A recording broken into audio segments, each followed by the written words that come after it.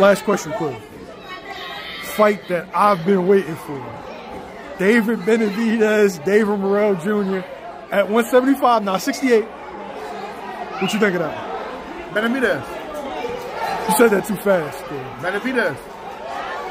To be honest with you, one of the only guys that I think get Benavidez a big problem is like a guy like Jesse Hart.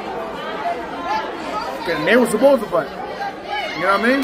But I think a guy like Jesse Hart that give Benavidez problems because Jesse can't, is not only he can punch, he got a lot of heart, and Jesse got a long, beautiful jab. So Benavidez ain't just gonna be able to run in there at Jesse. You know what I'm saying? Without, without, without, without facing the consequence. You know what I'm saying? And if Benavidez put his head down and try to go to the body, that uppercut that Jesse got is beautiful, man. I never seen Jesse hit a guy with a clean uppercut and not hurt him or knock him out. David Morrell Jr. Morrell Cuban, Jr.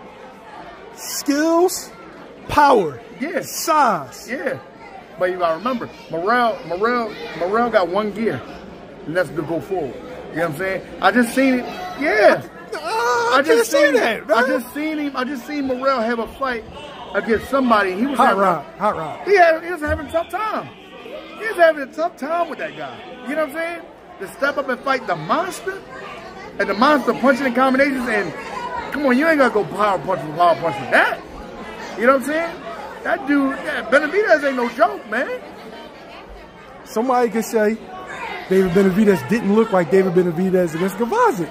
I can't judge Okay. them by their debuts at 75. Okay. I'm I'm expecting both of them to be at their best in this fight. I like Benavidez, man. He's a monster. He punch in combination. He can punch. He could take a good shot. And he ain't melting all the way down to 68. Come on, man.